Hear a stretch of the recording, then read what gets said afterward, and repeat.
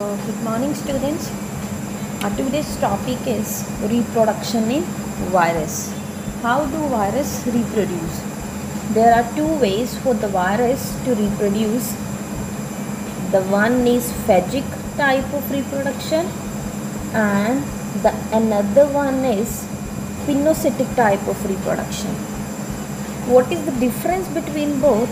The basic difference is you can get to know from the word phagic the word phagic has been derived from phage and what are phages phages are the viruses which affect only bacteria.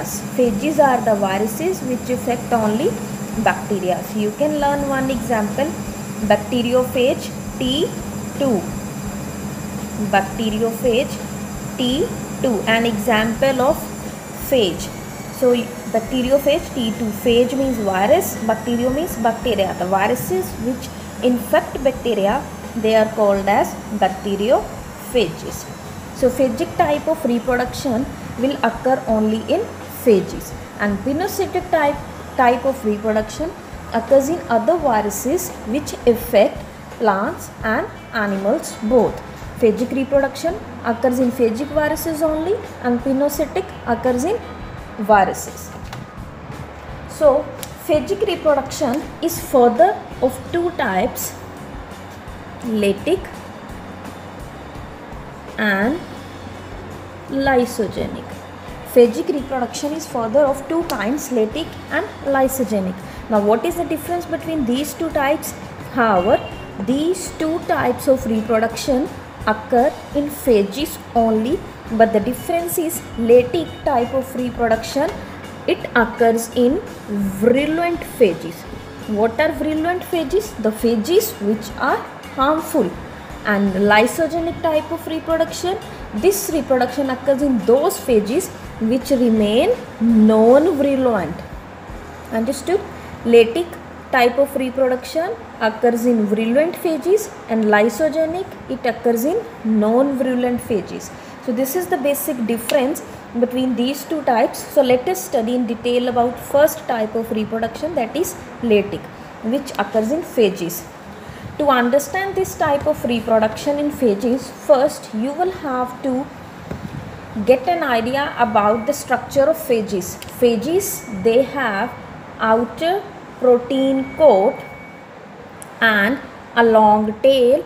At the end of the tail there are some tail fibers. These are what? Some tail fibers. Tail fibers. And this is long tail. This is tip of the tail tip. And this is protein coat. And inside the protein coat this is a viral genome. Viral genome means we have discussed earlier the genetic material of viruses so this is genetic material of this particular phage. This genetic material means viral genome may be DNA or RNA about this we have discussed earlier. So this is the entire structure of phages. Now let us study in detail lytic type of reproduction. What happens in lytic type of reproduction? In lytic type of reproduction phages first attaches itself phages what they have to do? They have to attack bacteria. Suppose this is bacteria. So with the help of tail fibers i am only drawing tail fibers phages first attach itself to the outer wall of the bacteria. Phages attach itself to the outer wall of bacteria with the help of these tail fibers. Then tail fibers undergo shrinkage and tip of the tail comes in direct contact with the bacterial wall. Tip of the tail comes in direct contact with the bacterial wall. Now it releases causes either it causes drill in the uh, uh, uh, it either it causes drill on the outer wall of the bacteria and then it releases enzyme lysozyme with the help of this enzyme which enzyme is released?